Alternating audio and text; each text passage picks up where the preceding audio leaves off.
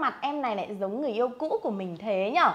Hình như em là người yêu cũ quốc dân hay sao ấy? Mấy anh vào trong pet của em đều nói em giống người yêu cũ của các anh. Ờ, nếu như mà người yêu cũ của các anh giống em thì chắc là kỹ năng với cả thời gian trả bài của anh cũng phải hùng hục lắm đấy nhở? Ờ, chứ gặp em mà cứ chờ sớm thì làm sao mà chịu được? Quỳnh ơi, kẹo bùa yêu có kéo dài thời gian như cao xìn của em không? À, thực ra thì kẹo bùa yêu là một cái dòng có kéo dài thời gian anh nhá. Tuy nhiên thì nó không nhiều được như xìn đâu. Nếu như anh muốn chuyên về thời gian trả bài thì anh hãy sử dụng cao xìn xú. Còn nếu như mà anh muốn là mình sung mãn hơn này Mình cứng cáp hơn này, mình khỏe hơn này Và mình lâu hơn này Thì mình dùng kẹo anh nhá. Mỗi một cái ờ, sản phẩm thì nó lại là uh, sử dụng trong một cái trường hợp khác nhau. Nên nếu như anh đang cần hỗ trợ anh cứ nhắn tin cho em thôi Thì em sẽ hỗ trợ anh sản phẩm phù hợp nhất với anh anh nhá. Chị ơi, em bị nghiện tự xử. Giờ có bạn gái, nó cứ chạm vào một cái là em đã chớ rồi. Thực ra thì cái việc mà em bị chớ sớm ấy, Thì nó sẽ có hai cái giai đoạn à, Không phải hai giai đoạn là hai vấn đề. Nếu như mà em đang bị cái tình trạng là chạm vào là chớ Chưa được một phút mà đã chớ Thì em phải đến những cơ sở y tế uy tín ngay và luôn Vì em bị chớ sớm quá nặng rồi. Còn nếu như mà em chiến đấu được khoảng tầm một phút đổ lên 3 phút đổ xuống Thì em gặp chị ngay. Chị sẽ có sản phẩm để em kéo dài thời gian trả bài lên trên 20 phút từ lần đầu tiên sử dụng.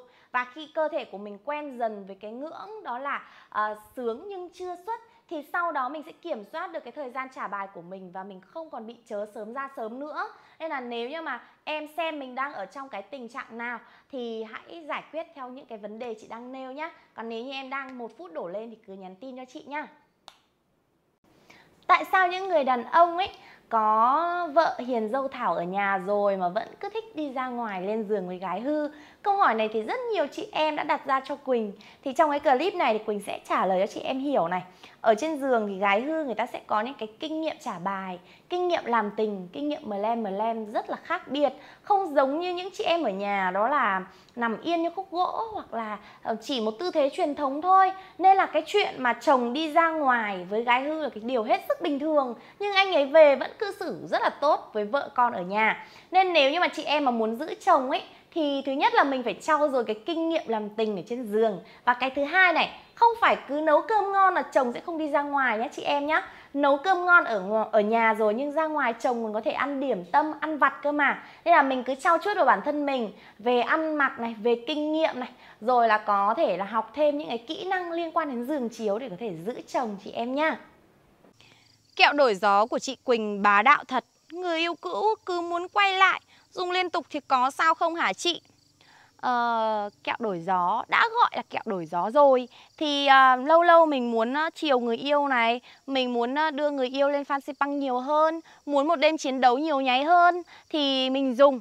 Chứ còn không nên dùng liên tục em nhá. Hoặc nếu như em muốn dùng thì em dùng cách nhật. Hôm nay dùng ngày mai nghỉ ngày kia lại dùng thì ok ngay còn cái kẹo này thì nó sẽ làm anh em cứng cáp hơn này, sung mãn hơn này. Một đêm chiến đấu hai ba hiệp mà mình không mệt. Còn anh em nào mà muốn chiều người yêu ấy thì nhắn tin ngay. Mua ngay kẹo, đổi gió của nhà em Quỳnh nhá. Làm sao để có thể tăng hưng phấn trước khi lâm trận hả em Quỳnh? Này, em nói thật nhá. Em nhiệt tình lắm, em mới chia sẻ cho anh biết đấy. Anh nghe kỹ này. Trước khi trả bài khoảng 20 phút, Anh uống giúp em một ngụm rượu vang Hoặc là một miếng sô-cô-la Nó sẽ làm anh tăng hưng phấn nhiều hơn.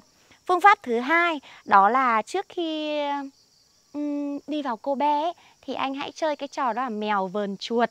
Cứ à ơi à ơi để cho cuộc yêu uh, nó được uh, hưng phấn hơn để cho người phụ nữ tràn trề hơn. Từ đó nó cũng sẽ làm cho anh có những cái hưng phấn tốt hơn để mình có thể bắt đầu vào cuộc chiến đấu nhá.